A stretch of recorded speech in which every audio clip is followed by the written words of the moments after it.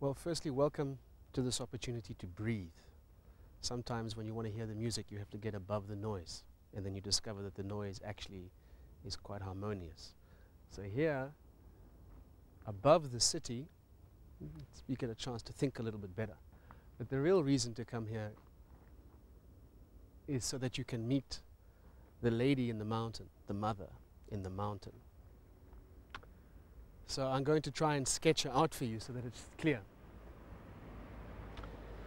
We know, we know it as, as Devil's Peak, but if you trace the contours of Devil's Peak from the bottom of the mountain, it's like you're following the course of her hair up.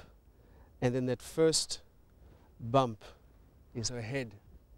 She's lying down and she's looking directly up into the sky.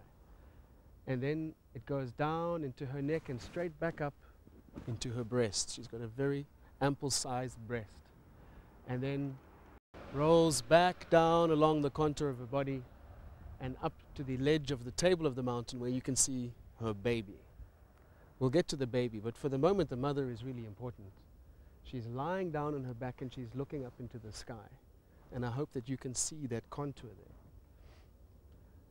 And the reason, the importance for showing you the woman in the mountain is because we, as people who live in the city, we look at this mountain all the time, every day, several times a day.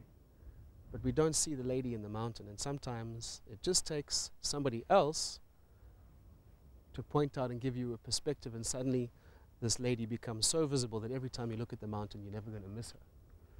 And it's an interesting metaphor for the city of Cape Town because, from a business point of view, all the resources that we need actually exist in the city.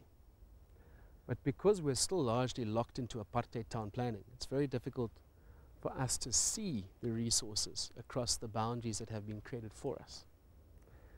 And the more that we interact across these boundaries, the more that we start to see the resources and the opportunities that are available to us. And the more we're able to actually act on them. So I look at this lady in the mountain every single day. And firstly, I thank Jethro, the ghetto poet, for showing me. And secondly, I think, hey, whatever I need, if I have a challenge today, it's probably around the corner from me. But I just have to speak to the right people and look at my city in different ways.